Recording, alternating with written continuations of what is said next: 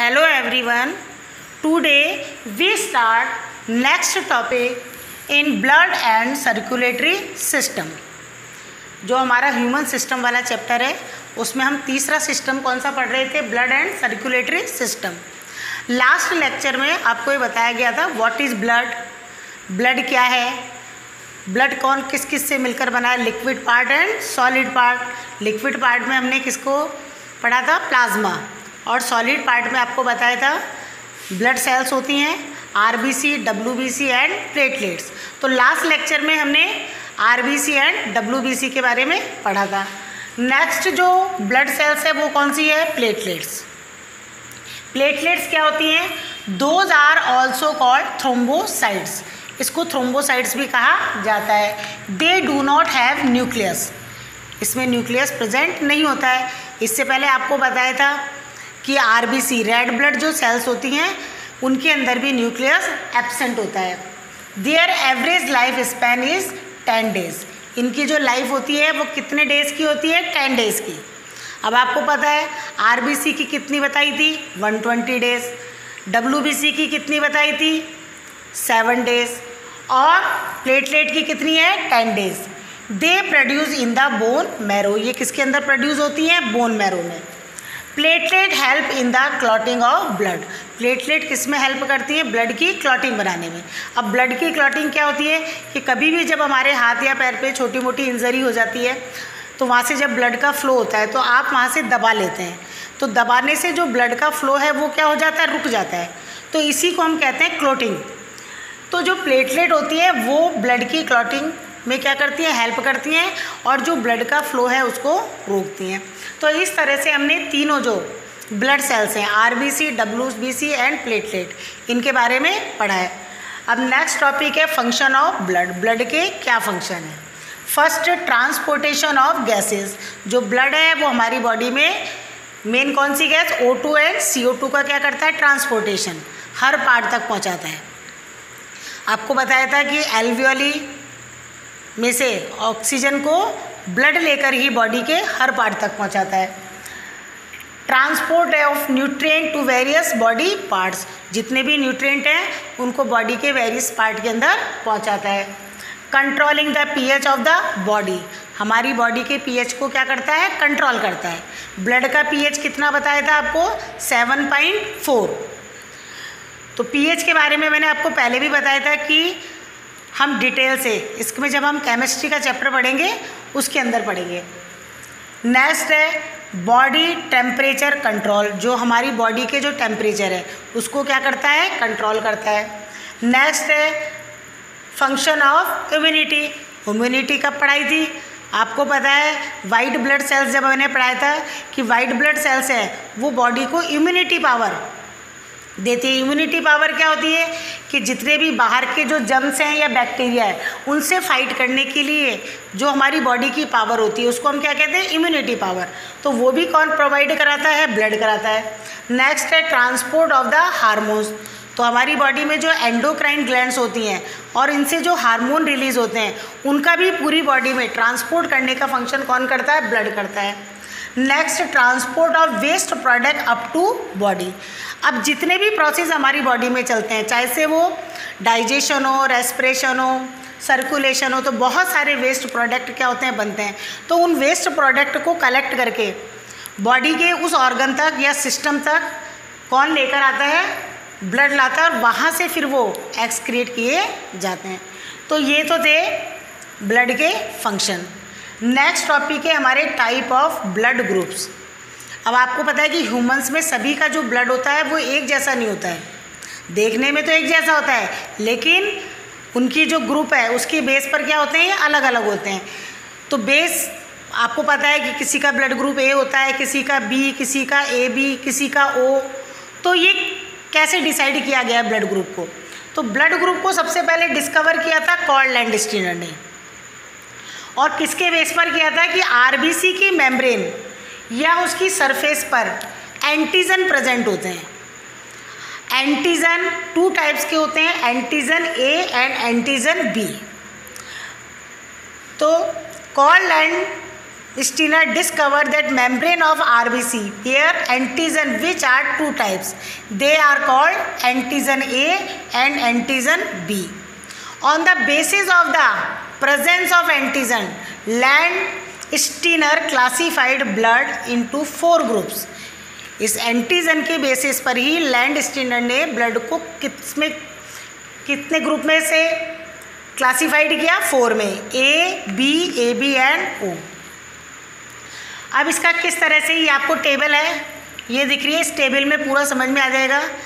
कि ऐसा तो है नहीं, जब भी ब्लड का ट्रांसफ्यूज़न होता है, जब भी ज़रूरत पड़ती है, एक का ब्लड दूसरे को हम चढ़ाते हैं तो ऐसे नहीं है कि कोई भी किसी का भी ब्लड किसी को चढ़ाया जा सके। ब्लड को ट्रांसफ़र करने से, एक की बॉडी से दूसरी में करने से पहले, जो डॉक्टर्स हैं, वो किसको देखते हैं? पहले ब्लड ग्रुप को, कि ए वाले को ए का बी वाले को बी का, या बी ए बी वाले को तो इस टेबल से हमको पता चलेगा कि ब्लड ग्रुप कौन से हैं और किससे तो वो रिसीव कर सकते हैं और किसको डोनेट कर सकते हैं। तो इस, इन फोर ग्रुप्स के आधार पर जो ह्यूमन का जो ब्लड ग्रुप है, वो क्या कहलाता है? A B O blood group कहलाता है।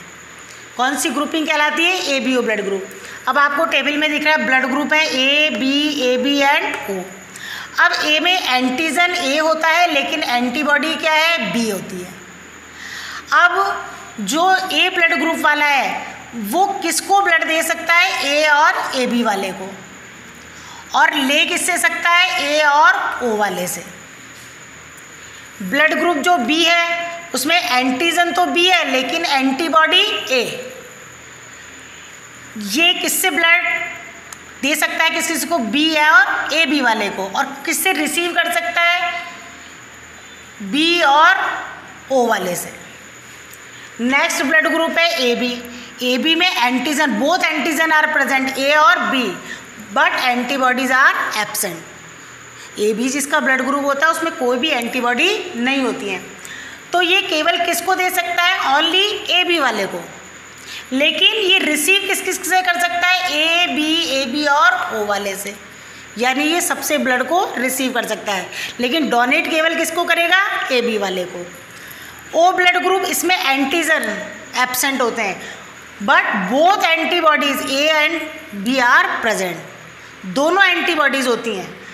तो ओ ब्लड ग्रुप वाला ए बी ए बी और ओ सभी ब्लड ग्रुप्स को ब्लड क्या कर सकता है? डोनेट कर सकता है। लेकिन केवल रिसीव किससे करेगा? ओनली ओ ब्लड ग्रुप से। तो इस टेबल को, पूरी टेबल को देखने के बाद हमको क्या पता चल रहा है कि इसमें यूनिवर्सल डोनर तो कौन सा है? और यूनिवर्सल रिकेप्टर यानी जो लेने वाला है, वो कौन सा ब्लड ग्रुप है? कई बार बोर्ड में क्वेश्चन आ चुका है। यूनिवर्सल डोनर ब्लड ग्रुप का नाम बताइए। यूनिवर्सल रिकेप्टर ब्लड ग्रुप का बताइए। तो यूनिवर्सल डोनर ब्लड ग्रुप कौन सा हो गया? ओ क्योंकि ओ ब्लड ग्रुप वाला सभी को ब्लड डोनेट कर सकता है, लेकिन लेता केवल किससे? ओ से। और यूनिवर्सल एक्सेप्टर जो है, वो कौन सा है? ए बी है। ए बी है, वो सबसे ब्लड ले सकता है, लेकिन देगा केवल किसको? ओ वाले को। बाकी इसमें ब्लड ग्रुप का और डिटेल से आपका फोर्थ चैप्टर आएगा। उसमें हम और पढ़ेंगे। अब नेक्स्ट जो टॉपिक है, वो है आपका आर एच ग्रुपिंग अब ये आर एच ग्रुपिंग क्या होती है?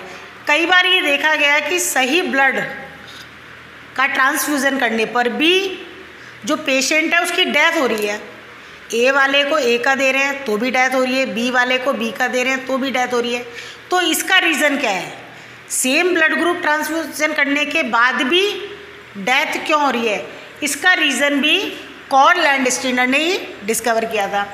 तो उन्होंने बताया था कि रीसस या R H factor R H grouping यानी आर एच फैक्टर है, जिसको कहा जाता है rhesus factor is another antigen found on the surface of RBC अभी आपको बताया कि आरबीसी की सरफेस पर दो एंटीजन तो होते ही हैं ए और बी लेकिन इसके अलावा एक और एंटीजन पाया जाता है, जिसको हम कहते हैं आर एच ये क्वेश्चन 2019 में बोर्ड में पूछा गया था कि आरबीसी की सरफेस पर एंटीजन ए और बी के अलावा कौन सा एंटीजन पाया जाता है? तो इसका आंसर क्या था? R H antigen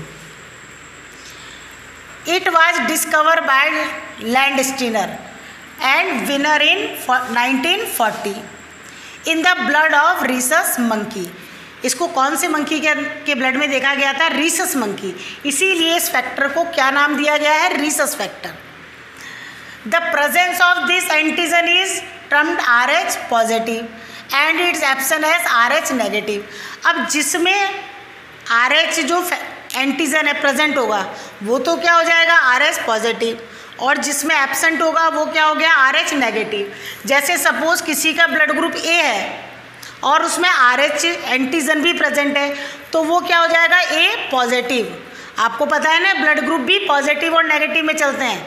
A positive B positive A negative B negative तो ये नेगेटिव और पॉजिटिव जो आए हैं, वो किसके बेस पर आए हैं?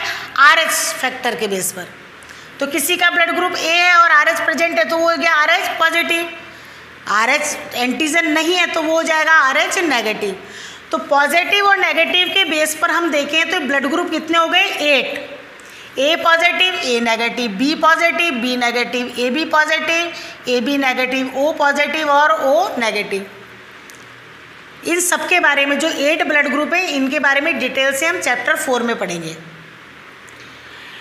तो इस बेस पर पूरे वर्ल्ड में 85 परसेंट जो ह्यूमन है, वो आर एच पॉजिटिव हैं और ओनली 15 परसेंट जो हैं वो क्या है? आर एच नेगेटिव है। तो ब्लड ट्रांसफ्यूज़न के समय, यानी एक का ब्लड दूसरे में चढ़ाने से पहले ब्लड ग्रुप के साथ साथ में आर एच फैक्टर को भी देखा जाता है और फिर पॉजिटिव को पॉजिटिव का नेगेटिव को नेगेटिव का। इस तरह से ब्लड चढ़ाया जाता है।